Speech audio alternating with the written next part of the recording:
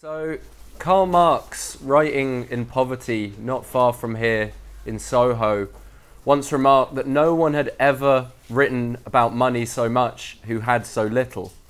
Um, I think is very appropriate. But he went on to say something else. He said that not even love has made so many fools of men as the pondering over the nature of money. And I think this is really the starting point for our talk to try and understand this thing that seems to kind of rule over us under society as it stands. You know, uh, it's always had a, a, kind of revered place in history. Money has. You know, the Bible obviously talks about how money is the root of all evil. It seems to be a kind of mystical force, and in society today, all our needs seem to be relegated to the need for money. But there are a lot of kind of there are a lot of revered idols in class society. You have the law, gods, you know, the state religion, all of these sorts of things are revered under class society, all seem to be quite mystical, like money. But I would say all of these things, including money, if you look with a Marxist analysis at these things, that is to say, in a dialectical and a materialist way, you can strip away the mysticism and understand what really lies underneath. If we look at the origins, the evolution, and the development of money over history, we can understand also where it might head in the future, and most importantly, how we get rid of this kind of uh, chain of gold that seems to hold us down under society at the moment. Now, Marx actually explained in his writings in Capital at the end of chapter 2, I believe, he said that really the riddle of the money fetish is the riddle of the commodity fetish. And in other words, capitalism is this system of commodity production and exchange, a generalized commodity production exchange. And if you can understand uh, that, if you can understand how the commodity arises and what role commodities play within society, then you can understand why money arises and what role money plays. And Marx said if you understand that, then further analysis is really left just to looking at the different forms of money, whether it's cash or coins or credit or these days cryptocurrencies.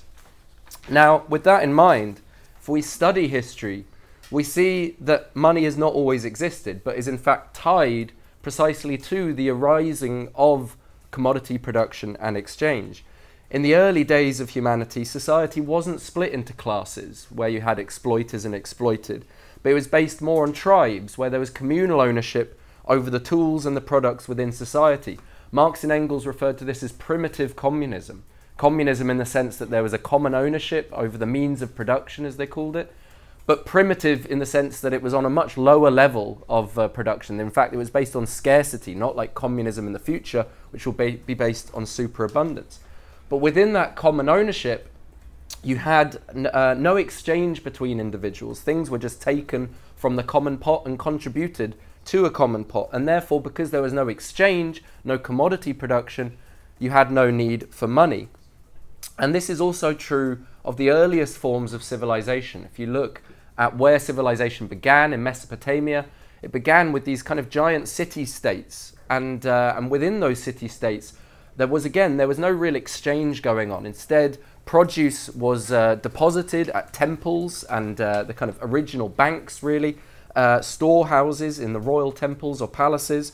And, uh, and, and instead, the economy was kind of bureaucratically planned from the top down uh, with a system of management and accounting. People would store this stuff at these communal stores, and uh, and th- that was noted down on tablets, uh, inscribed tablets. It's actually where mathematics began as a result.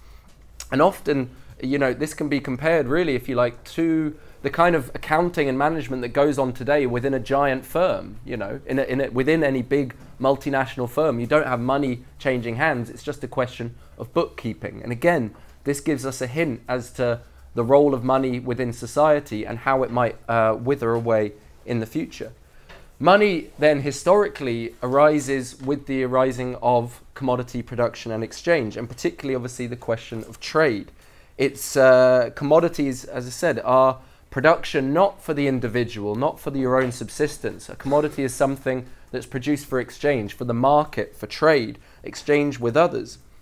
And therefore, commodity production exchange begins at the fringes of society, whereas originally you had, as I say, these kind of primitive communism. be- the beginnings of money are the beginnings of trade between different tribes, where they start to trade their surplus at the fringe of society with other tribes. But what Marx and Engels noted was that once this logic uh, had kind of, or rather, once this process had begun, it kind of took on a logic of its own, and the uh, the relationship between different tribes of, of around commodity production exchange would start to kind of be internalized within the tribe, and, uh, and this is what Engels writes about in his book on the origins of family, private property, and the state, where he talks about the early um, uh, Greek gens, as they were called, the early Greek tribes, where he says as they began to uh, develop commodities and, and trade, uh, then this would penetrate like a corrosive acid, he said, dissolving all the old communal traditions, laws, and bonds. And uh, in other words, uh, as, as you started trading more externally and thinking of products in terms of commodities, the more that would start to be internalized within the community and you would get the arising of laws that sanctified private property and that, that kind of um, set this, uh, these relationships into stone, quite literally often. And as the division of labour within society increased, the, uh, the, the, the, the, amount of commodity production and exchange uh, increases also. Um, and you have, uh, with this process, comes also the formation of debts, of usury, of uh, these sorts of things, which have really gone on since the dawn then of civilization. It's not some uh, some sort of tumor that arises under capitalism. Um, and with those debts and usury, with the lending, you uh, you get obviously accumulation at one pole and enslavement at the other. And this is really, as I say, the beginning of class society. Now, within this process that's going on uh, of trade, of, of commodity production exchange, there arises a need, really, a practical need, for one commodity that can be seen as some sort of universal equivalent. Um, against a commodity against which all others can be compared, something that's basically like a yardstick of, uh, of value, of how different commodities can be compared with, with one another. And it's this universal equivalent that is the beginnings of money and, and is the money commodity, Marx calls it. It acts as a means of exchange, of allowing people to obviously trade over much larger distances. Rather than obviously having to meet and barter, you can separate exchange into two acts uh, a purchase and a sale, or a sale and a purchase, depending on which way you're looking at it. And uh, in this sense, it's, it, money is, is, is, a means of exchange, a means of circulation, a means of allowing commodities to, uh, to circulate around without having to be uh, directly traded. But also, money plays the role of uh, a unit of account, if you like. It's a way, as I say, of comparing things in a bit more of an abstract sense as well. It can act as a store of value, a store of uh, something to put your wealth in and uh, carry it over longer distances or leave it lying idle. And it can act as a means of payment, as a way of, uh, of settling debts, of paying taxes. And all of these different functions are, are different roles, different sides of the same coin, if you like, um, in terms of uh, how money uh, works. It, it, plays all of these roles simultaneously um, as its function as the, the money commodity. Now, money doesn't arise in a kind of conscious or planned way. It, it arises over, over a period of time. And, uh, and the, the original kind of money commodity can vary actually from, from place to place, but always rooted in material conditions. Um, it's uh, like in some places you had kind of herds of cattle would be uh, a money commodity uh, because of the, the important role of, uh, of those animals within uh, society. Um, but obviously, there's, there's a, that, that, that poses certain barriers, if you like, and it's no accident then that actually precious metals become uh, the, the, the main kind of mon- money commodity that we, uh, that we know of now and that arise historically.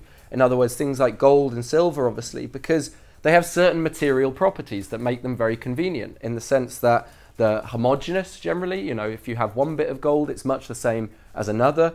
Uh, they're easily divisible. You can divide them up into lots of smaller fragments to be able to pay uh, smaller, make, make smaller transactions. Uh, they're durable in the sense that obviously gold can survive over long distances, over long periods of time. Uh, in that sense, it can be that store of value that I just described. And most importantly, they themselves are very valuable. They are uh, there's a high, if you like, value density within gold. It, uh, it itself is actually contains a lot of value. And therefore, what you see is that things like gold are not revered in society because they sparkle, because of their aesthetic qualities, but rather we ascribe certain aesthetic qualities to them, certain mystical properties, because they are money. And that's what Marx explained, is that you know, uh, uh, the, the, the, the, reason there is a love of gold, if you like, uh, in society uh, is because of its, uh, its material properties that allowed it to arise and be the, the original money commodity. Now, the mystery of money, then, as I said, is related to the question of commodity and what I've just touched upon this question of value, the mystery of value. So, really, we have to ask ourselves what is value? Um, how is it determined? And to understand this, we have to go back and examine the idea of a commodity. As I said, a commodity is something, uh, a good or service produced not for individual use or consumption, but for exchange. And, uh, and Marx explains that all commodities have a dual nature, two kind of sides again of this uh, coin. Um, they have a use value on the one hand, something that makes them useful in society, a kind of utility, without which there would be no demand for them in the first place on the market. But then there's also an exchange value, a kind of quantitative relationship that tells you how much of one commodity you can exchange for another. Marx explained that this exchange value, or just value as he kind of uh, referred to it in general, the value of a commodity is related to the labor time needed to produce it, not just the labor time that goes into that individual commodity, but the socially necessary labor time, he called it, the average amount of time that would go into producing a, a, a given good or service or so forth on the marketplace. Um, and, uh, and this contained both the labor of, of the worker who, uh, or the, the, the living labor that went into the commodity, but the, also the dead labor, if you like, all the previous labor used to uh, generate the raw materials, the tools, and so forth that went into production. Now, prices are just the monetary relationship of uh, the monetary expression, if you like, of value, um, determined by supply and demand, determined by the invisible hand, if you like, uh, by these market forces. But they always reflect really the relative value of different commodities, the relative socially necessary labour time that, that has gone into things. They, they, the market can obviously play a certain role in, uh, in deviating prices from the value, but they generally will fluctuate around the actual costs of production, the actual socially necessary labour time. In other words, then prices, uh, this, this monetary expression and, and the value that, it, that underlies that uh, relationship, really it's a social relationship. It's a relationship between different individuals and the labour that they've put into the, the commodities that they're producing. And I think this key question of uh, this, this idea of, of prices, of value, as being a social relationship is really key to understanding what money is in the most general sense um, and understanding all the different forms that it takes today.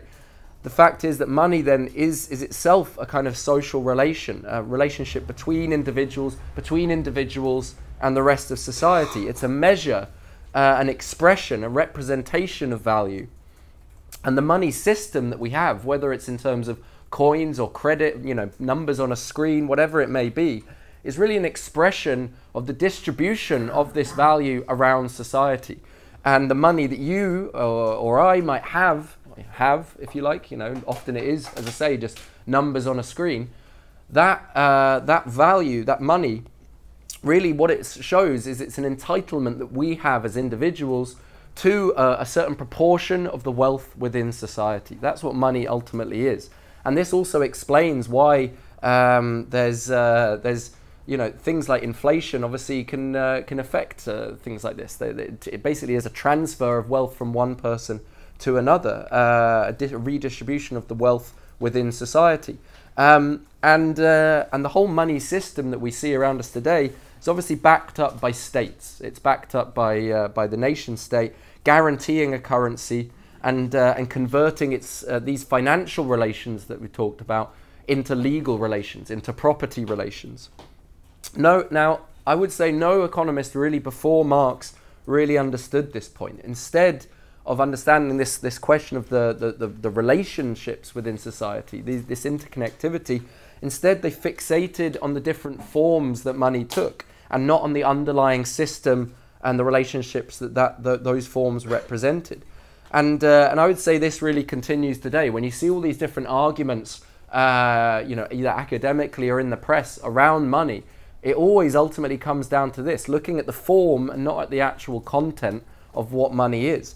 So you see, often uh, there's, a, there's a debate around whether money is primarily this means of exchange uh, needed for a universal equivalent, or if it's more a unit of account. There's a, a money, there's a kind of debt theory of money, a credit theory of money, uh, which you hear from people like David Graeber and his book uh, Debt, 5,000 Years of Money or something, I think it's called.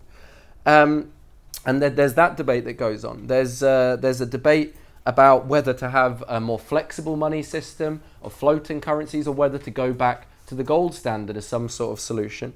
And then there's uh, those who seek to kind of reform or even revolutionize the current money system by taking away the power of money creation from the banks. And hence why you've had things like Bitcoin invented. And also you see campaigns like Positive Money that talk about kind of democratizing the banking system.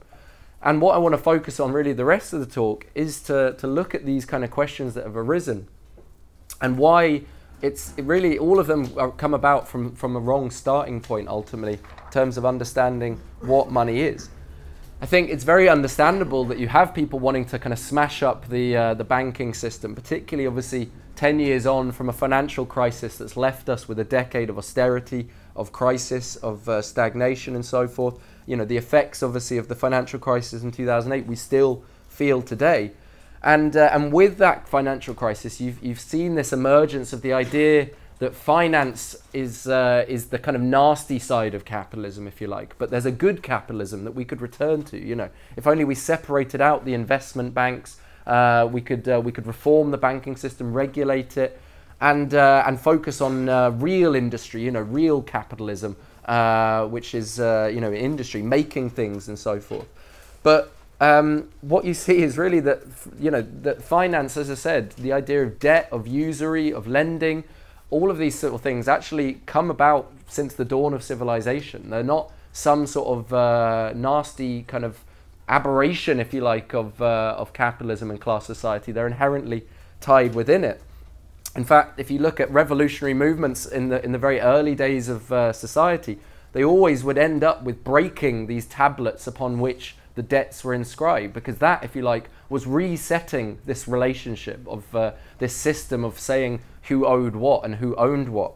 And, uh, and, and it was abolishing all the old relations and trying to set a new set of, uh, uh of social relations. As I said, even in, um, in Mesopotamia, you had this kind of early system of, uh, of, of banking effectively, where money was being um, kept in, in the temples for safekeeping, and, uh, and people were charged interest uh, as well to, to be able to lend from, uh, from these central stores. International banking develops further with the development of trade. You have uh, Ptolemaic Egypt, Hellenic Greece, and as these places expand in terms of the trade around the Mediterranean, you see the expansion of uh, international banking, the idea of, uh, of people being able to transfer credit between their accounts uh, as merchants, as uh, the, the, the ability to swap coins of different origins that were minted in one place, be able to exchange them for another. And, uh, and all of this kind of international system, if you like, of finance, in the early days, it really grew and grew with the stability of the empires that underlay it. So, particularly under the Roman Empire, you see an expansion of uh, this kind of international banking system. And as the Roman Empire collapses, as that stability that the empire provides politically collapses, the banking system collapses also, and money begins to regress into just a, a whole uh, host of different coins based on different fiefdoms, different kingdoms. And, uh, and these coins in turn would be quite frequently debased by the, uh, by the kings and queens.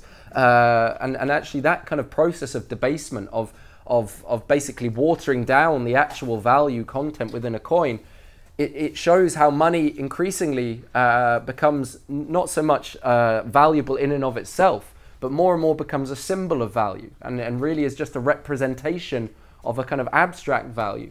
Uh, something that is, is objective but still very uh, uh, abstract.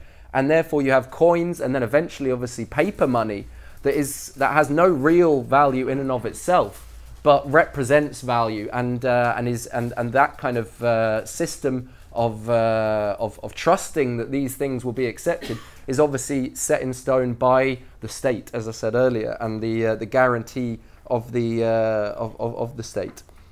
Um, and, and if you like, this process of, of, of debasement, of, uh, of reducing money more and more to a symbol, eventually, you know, the logical result of it really is the system today, where there's very little actual money transferring around in circulation. It's mainly just numbers on a screen.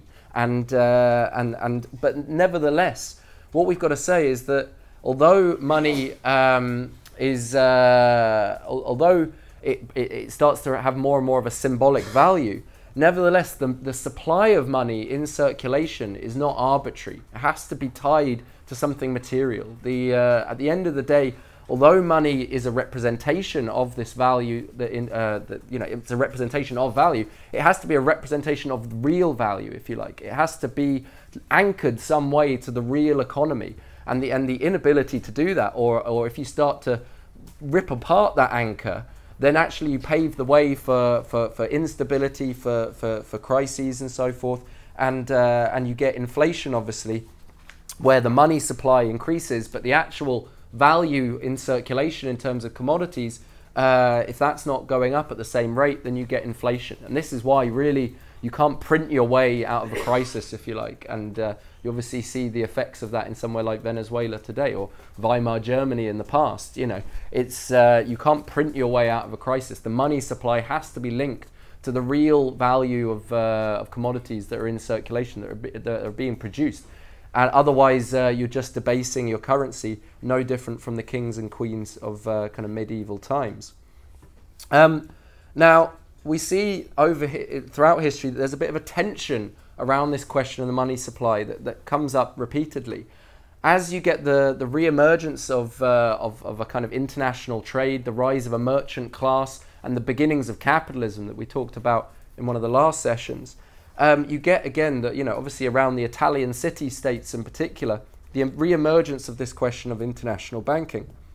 And this emergent uh, rising class was the kind of the beginning of the bourgeoisie who uh, were often lenders to the, the old uh, kind of feudal states, the, the kings and queens. And they got a little bit pissed off, frankly, about the fact that they kept on lending their money to, the to these uh, states, uh, but then the, the state would default on its debts. It would go to war, borrow money, and then build up huge debts, but then just default on them. But what you saw is as the, as the merchant class becomes more powerful, as this rising nascent bourgeoisie becomes more powerful, they start to kind of assert that in terms of the uh, the financial institutions that you see around, and you get the creation of national banks. Uh, the first national bank was the Bank of England in 1694. It's actually a private bank uh, that was created to uh, basically say, you know, to, to take power in terms of the money supply away from uh, from the from the older ruling class and put it in the hands of this new ruling class, the bourgeoisie. Um, and basically, it cemented their kind of economic power and guaranteed that state debts would be repaid. And with the creation of national banks, you get national debts as well. You get taxation being used to basically pay for those debts. And, uh, and taxation then becomes a way of trying to channel more money from the, the poorest and the, the, the middle layers in society back towards the top. And uh, Marx famously said that the only uh, the only thing that's truly commonly owned under capitalism is in fact the national debt. If you see, if you, you want proof of that, obviously look at the bailout, the banks, and uh, the austerity we see around us today.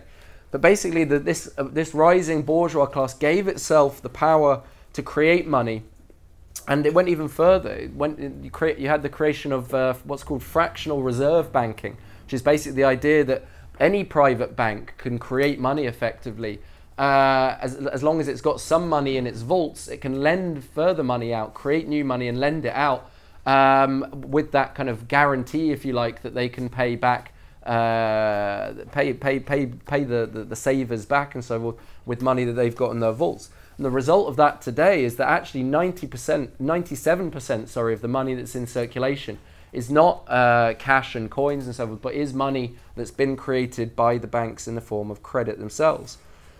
And so you get this emergence of a, of a massive credit system, which has an important role uh, under capitalism. As I said, finance and credit are not some sort of aberration. They're not the, just the, simply a nasty side of capitalism. They're an inherent part of capitalism itself. Capitalism, frankly, couldn't have ever come about and couldn't survive without credit. Um, Marx makes this point that actually, you know, in, in the previous talk, uh, we, we heard from uh, Josh about obviously the creation of the working class being an essential part of capitalism, but the creation of, of a credit system was equally important. Why? Well, what, what we're going to look at what is the role of credit, what is the role of the banking system and, uh, and finance and so forth. On the one hand, very simply, it provides a certain fluidity and dynamism to capitalism. It allows capitalism to continue to circulate. You know, in other words, you don't have to sell all of your goods when you produce in order to then buy more raw materials and carry on production, but rather you can be constantly buying and selling, producing and uh, and trading all at the same time. So there's that very basic role of kind of overcoming bottlenecks, if you like. But the other thing it also does is, uh, and Marx again wrote about this, is try and overcome the crisis of overproduction within society. Now, I don't have time to really go into a full explanation of Marx's theory of economic crisis, but simply put, the fact that the working class is the is the, the, the producer of all wealth in society, and the fact that profit is the unpaid labor of the working class, means you have this inherent contradiction within capitalism where it's always tending to produce more than the market can reabsorb. And the role of credit is to artificially expand the market temporarily in the short term to be able to overcome this contradiction temporarily. Because obviously, credit is always lent out with interest, it has to be paid back. And, uh, and, and, and, and all it does is delay, obviously, the crisis until obviously a moment like in 2008 when the whole thing comes crashing down.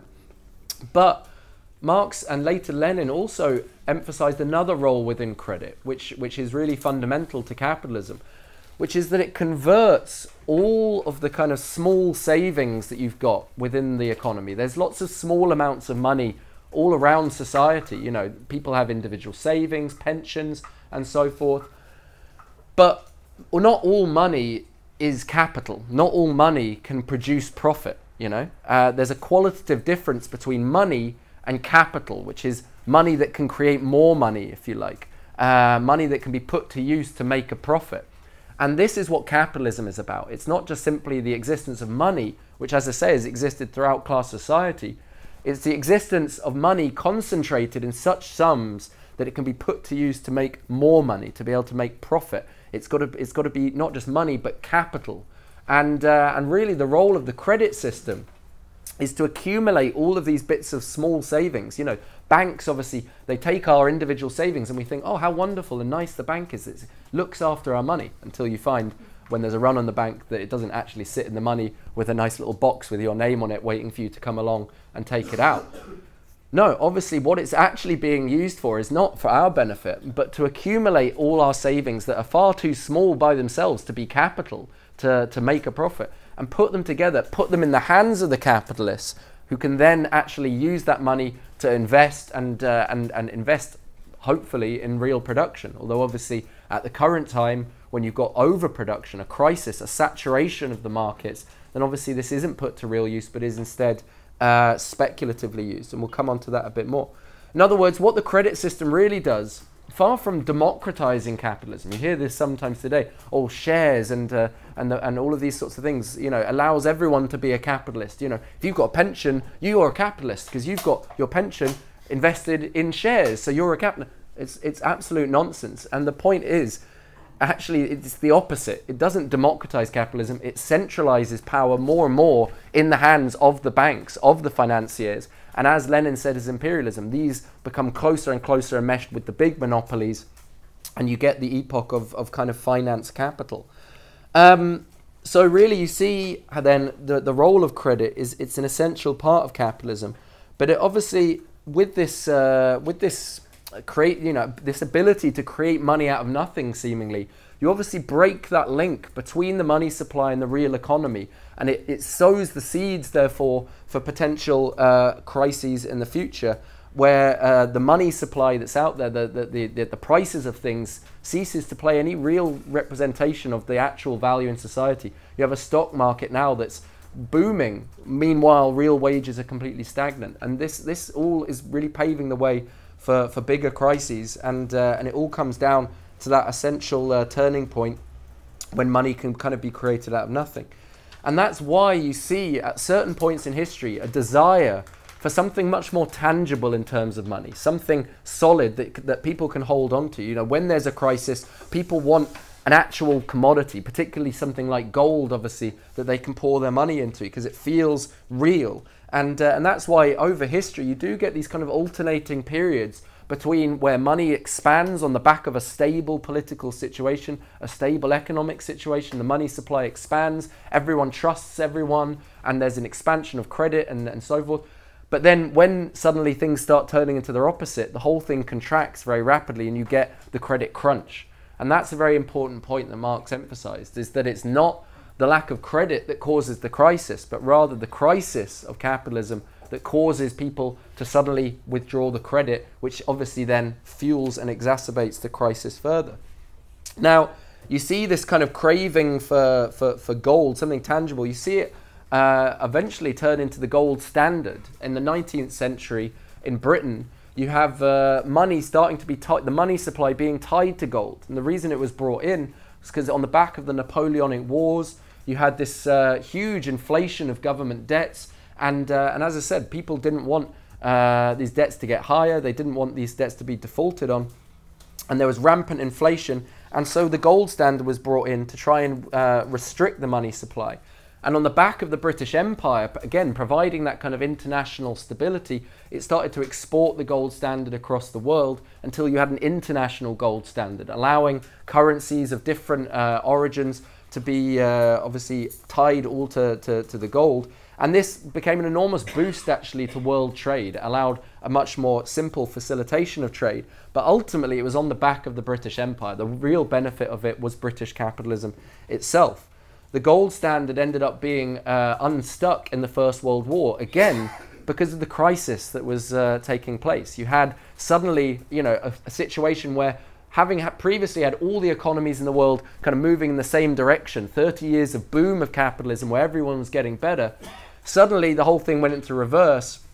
And with the First World War and the crisis that ensued afterwards, you had instead uh, kind of beggar thy neighbor policies being brought in, the, the, the, contradictions of the nation state emerging, and different economies moving in different directions, trying to pull against each other, and obviously then the gold standard coming unstuck. You had basically different countries were trying to export the crisis and wanted to come off the gold standard so that they could competitively devalue their currencies. In particular, Britain was, uh, was very guilty of this. The, the, the, the, the pound was far overvalued. And uh, the result of this, because they were tied to the gold standard, was that they had to do what was called internal devaluation. And so you saw enormous attacks on the working class in Britain. As British capitalism was declining in terms of its competitiveness relative to America and Germany and Japan and these emerging capitalist powers, Britain uh, could only maintain its position on the world stage tied what, what within the system of the gold standard if it attacked the working class and that obviously created enormous social instability it's really the basis behind some of the massive strikes including the 1926 general strike that you see in britain in that period. And eventually once you get the great depression and the big crash of 1929 the whole system really falls apart. And, uh, and, and one country after another comes off the gold standard in order to be able to fuel its money supply fuel the banks um, increase liquidity and so forth. And uh, and eventually the whole thing collapses. Uh, as I said, after the Second World War, when when when you start to have stability kind of restored, if you like, um, you get uh, the establishment of what's called the Bretton Woods system, which effectively was like the gold standard because now you you had all the currencies pegged to something, but it wasn't gold; it was the dollar. And that was because obviously by that point America had become the dominant world superpower playing the role that Britain had done in the 19th century. And it's the American empire, if you like, that guaranteed the kind of stability of the system. And, uh, and what you had was uh, currencies all pegged to the dollar, but the dollar effectively was as good as gold. Two thirds of the world's gold lay in Fort Knox. And, uh, and if you did international trade, it was just moved from one bit of the Fort Knox to another, basically. And that represented uh, the, uh, the international trade, if you like. Um, now, as I say, that could really only be implemented because of the hegemonic kind of imperialist position that the US occupied after the Second World War, provided a certain stability to world trade, and you see a massive expansion of world trade. But ultimately, what underlay that was the post-war boom and the massive economic stability that that provided. Uh, and as the, the, the, economic boom slowed down, as the kind of Keynesian measures that were used to try and manage capitalism, uh, start, as the contradictions of those started to develop, what you saw was the, the money system also, again, once again coming under strain. And so, in particular, what you had was uh, inflation in the US because of the war in Vietnam, because of Keynesian policies, massive public spending. That eventually fed through into inflation, as I said, because the money supply was, was, was accelerating faster than the actual uh, strength of the economy. And, uh, and that inflation was then exported across the world because of the, the Bretton Woods system. And then it's finally in the 1970s with the, with the world crisis that comes into, uh, in, into play in 1973. You have the oil crisis. It tips the whole system over the edge, and, uh, and Bretton Woods completely collapses. Um, and uh, there's a move instead at that point to floating currencies, where basically exchange rates are now uh, automatic based on the different um, supply and demand for different currencies, which in turn reflects the different strength of those different economies. So the different competitivenesses of different economies is reflected in the strength of their currencies. If the, if the currency is strong, it reflects the, the, the, the, strength of that economy and the demand to be able to, uh, to have that currency so you can buy the exports uh, from that particular country and vice versa. But the whole idea was that was is that through this you would get some sort of automatic regulation of the financial system of the currency system, where as countries became less competitive, they would obviously their currencies would devalue, their exports would increase, and they would rebalance. Obviously, when that process happened, the working class in that country would pay through obviously higher prices of imports and so forth. So whichever way you look at it, under capitalism, was always the working class that was going to be paying for.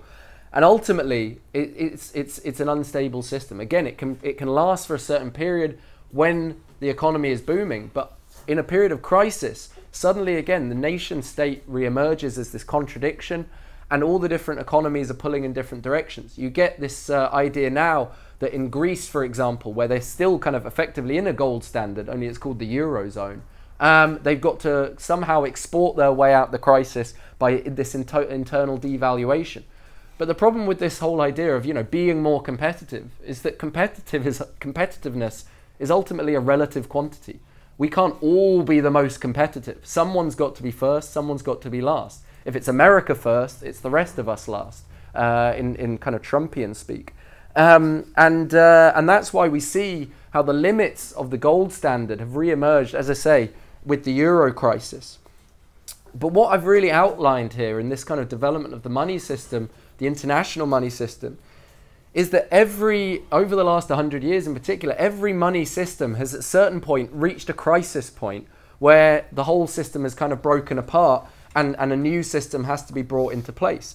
Um, and it's always coming on the back, not of, of the money crisis first, but rather it's the crisis of capitalism first that then expresses itself in a crisis of the money system. You initially have a source of, uh, of economic stability, of political stability that facilitates the growth of trade, of the market, and so forth.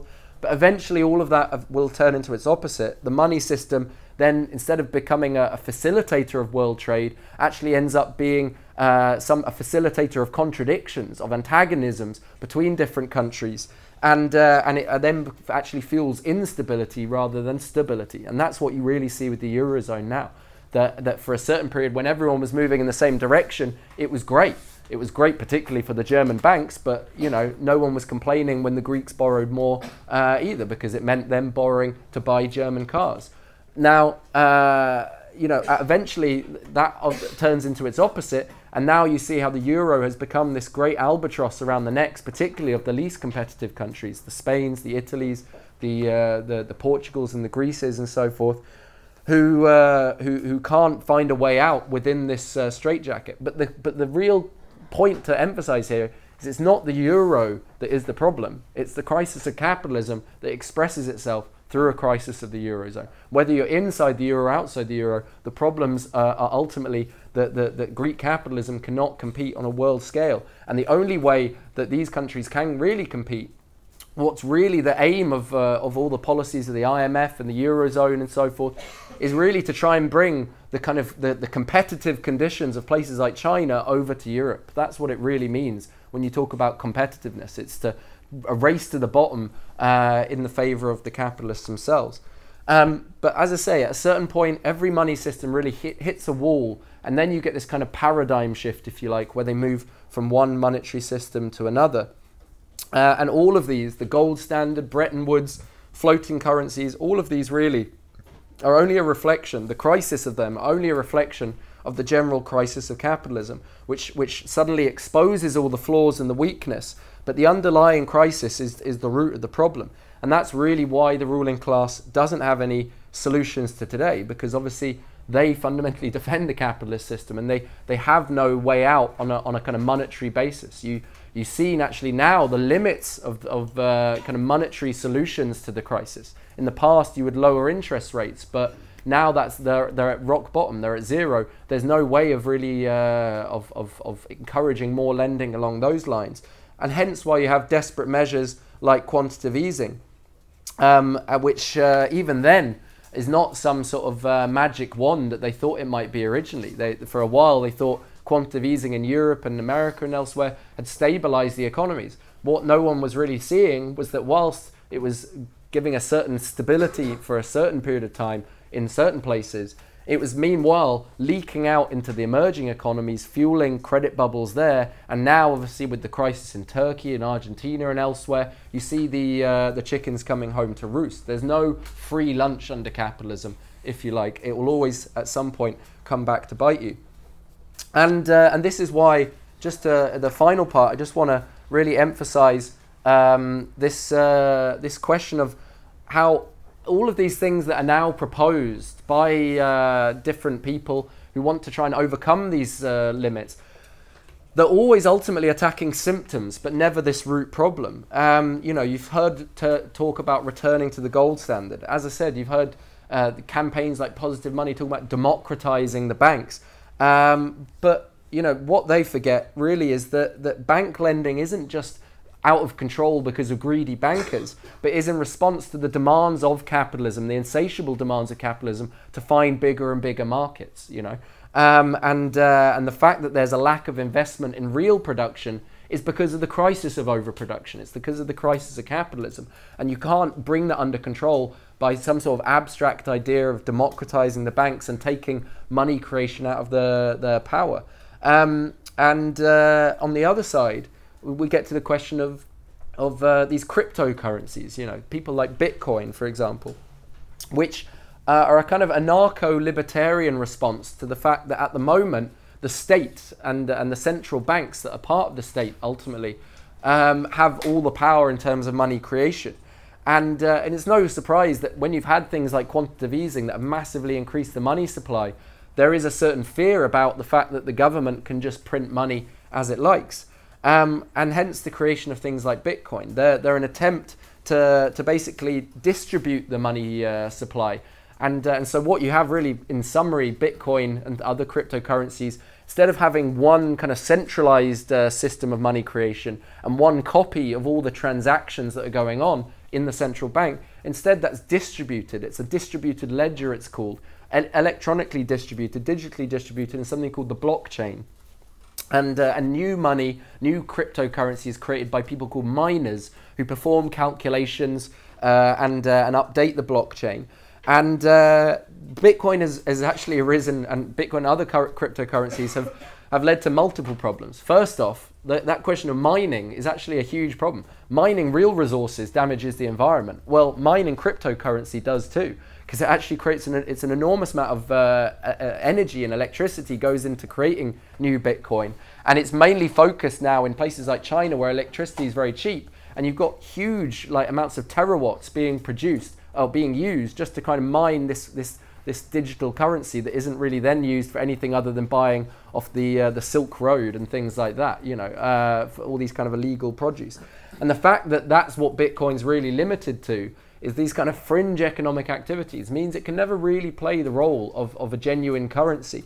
It doesn't have any real economic anchor, and instead, Bitcoin and other cryptocurrencies have just become a vehicle for speculation. In other words, people buy them just in the hope that their price is going to go up and they can sell them later. It's no fundamentally different from things like the tulip bulb craze, where uh, I can't remember which century it was. It was in Holland. People bought tulip bulbs just because they would hope that they would get uh, more and more expensive.